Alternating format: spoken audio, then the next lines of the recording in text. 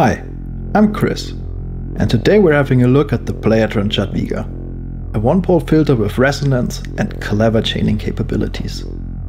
A truly modular filter to create your own filter designs from the ground up.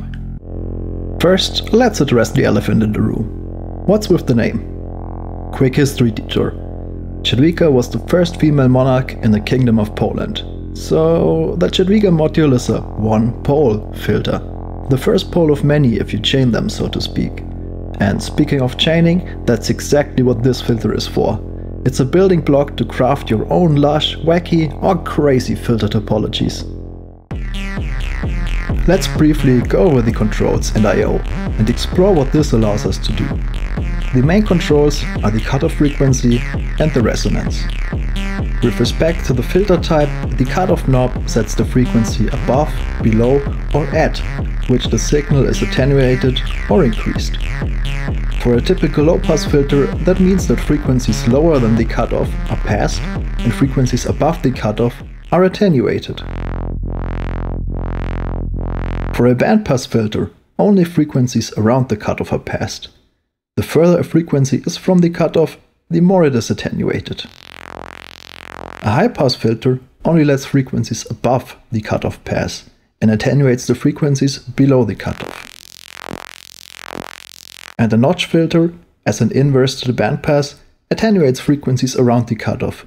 With less attenuation, the further the frequency is from the cutoff. Resonance defines the emphasis of frequencies around the cutoff point. Be careful with high resonance values as the output can become very loud. With the resonance cranked all the way up, we can get the filter to self-oscillate at the cutoff frequency by adjusting the cutoff or by pinging it with a short trigger signal. In addition to cutoff and resonance, we have a switch to change the filter to either low pass, band pass or high pass, and a mix control to define the ratio between the filtered wet signal and the unfiltered dry signal. At the bottom of the module we get two extra outputs, with their own controls. At the low out, only the low part of the signal is output, with regard to the cutoff frequency setting. Similarly, the mid out outputs mid and below content, with resonance. The pads above each invert the output signal, and the knob above that functions as an amplifier from 10% all the way up to 200%. With these outputs and controls, we can craft many filter types and spice them up. Apart from the filter controls, we can control the output volume with this little knob and turn the filter off and on by pressing this button. There's also this inconspicuous golden knob. With this control we set the resolution of incoming CV signals. The lower the value, the more often the modulation inputs are sampled and applied to their respective targets. However, this also increases the CPU load, so if you do not need audio rate modulation, it's best to keep this value at its reasonable default. Speaking of modulation, almost everything on this module has an CV input. The frequency and resonance inputs feature an extra bias knob that offsets the incoming modulation. With Playertron modules, modulation is special. All visible controls are motorized and represent their real current value. This means that if you apply modulation, the control visually follows this modulation, hence the bias for frequency and resonance. There is a second input for modulating the frequency that does not move the frequency knob, but allows to modulate the filter cutoff offset by the current frequency knob setting. There are also CV inputs to manipulate the filter type and the mix. At the bottom the volume and polarity of the low and mid out have their respective CV inputs as well. Now, you might have already spotted that there are fine lines from some CV inputs to output checks on the other side of the module. Good spot. The essential controls have their inner workings laid out on the interface of Jadwiga by offering CV inputs and outputs. Each knob's movement is replicated as CV at these output checks. This way, chaining multiple Jadwigas in series is as easy as connecting the respective control's outputs to the respective inputs on the next Jadwiga instance. Keep in mind that the bias setting for each Jadwiga can be different, and that the bias is not carried over to the next instance.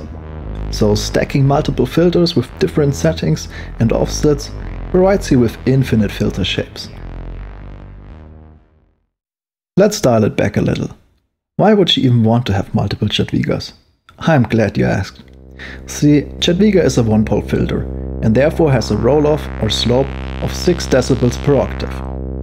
If you add another Jadwiga, this creates a two-pole filter, with a slope of 12 decibels per octave. For each additional Jadwiga, the pole count is increased by 1, and therefore the slope is increased by 6 decibels per octave.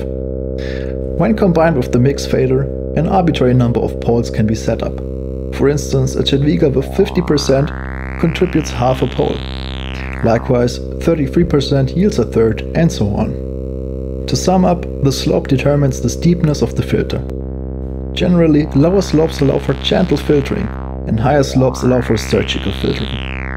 The steeper the slope, the more effect the filter has on the phase of the frequency components around the cutoff. Let's listen to what that sounds like. Here we have 10 instances of Jadwiga lined up and connected in series. The A oscillator provides a saw wave that is then run through the Jadwigas. Our trusty old Weevil multi-oscilloscope shows us what's happening to the waveform, and Necomatic microspectroscope, as well as PSP spectra, show us what's happening to the frequency content of our saw wave. For convenience, I added a DC source that provides an offset for the cutoff frequency.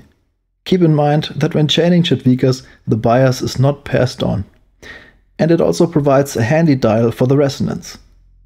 I could have used the knob on the first Jadwiga for this, but I made this DC source ignore variations, so we can keep the same resonance but change the pole count. Let's start by having only one instance of Jadwiga enabled.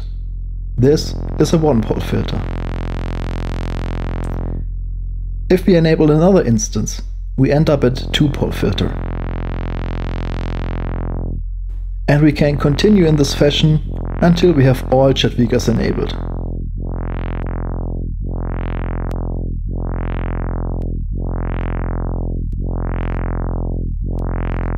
We have now created a stunning 10-pole filter.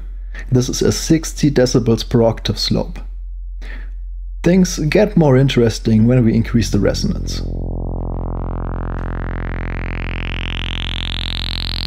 There is an added amplifier before the main output that decreases the signal volume the higher the resonance is set to safeguard our ears. So let's experiment with different pole counts and resonance amounts.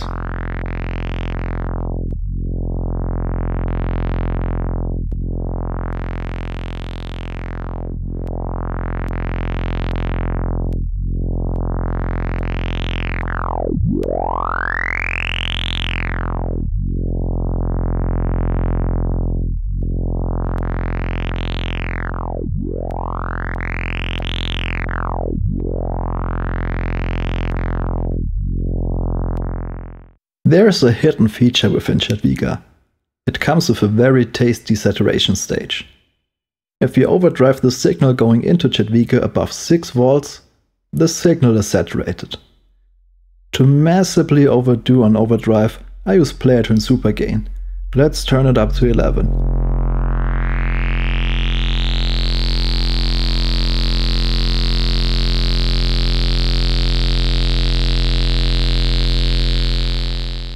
Now that we're done with the basics, let's move forward to more advanced filters.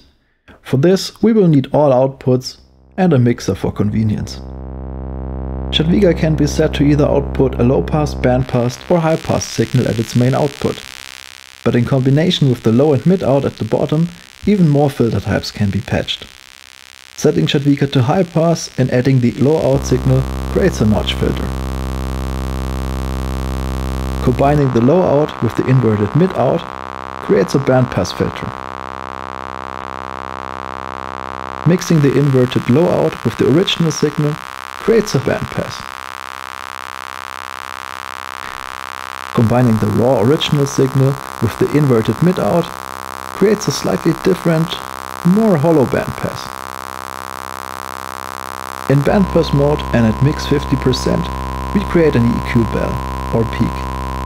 The latter can also be achieved by mixing the bandpass output with the original signal. And here's one nifty trick.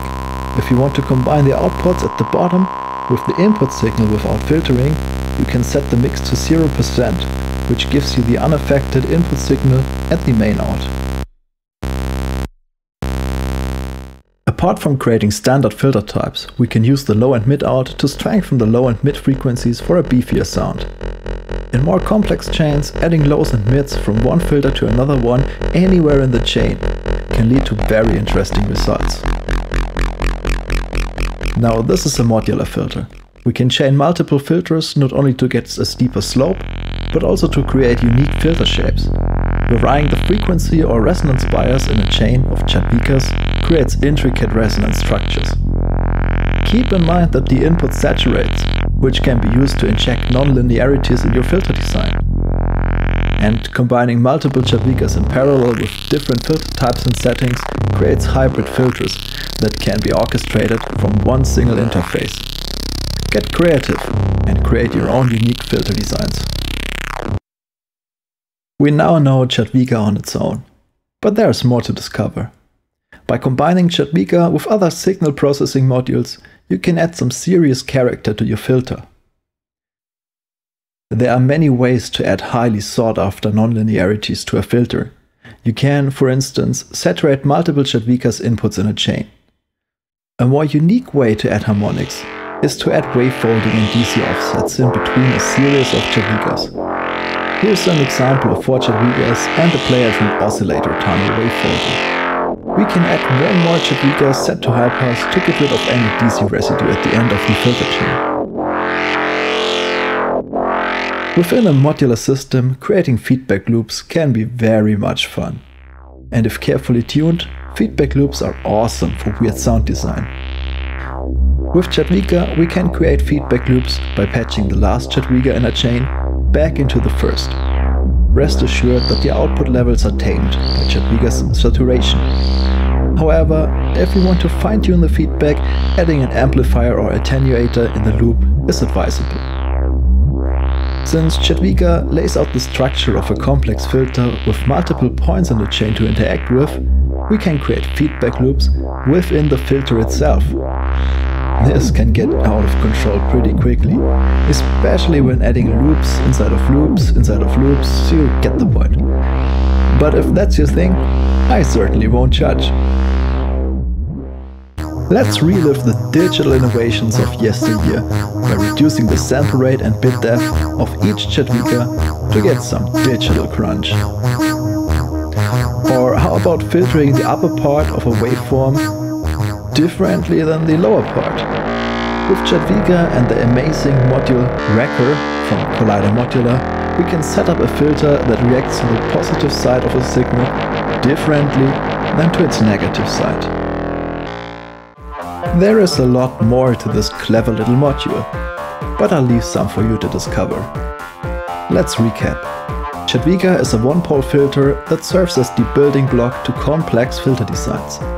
Multiple Jadwigas can easily be chained by patching the controlled CV outputs to the corresponding CV inputs on the next Jadwiga. Multiple filter types can be achieved by cleverly combining all of Jadwiga's outputs and with some module friends on its side, Jadwiga can be the key to your unique filter. Let me know what interesting new filters you come up with. Have fun exploring and see you around!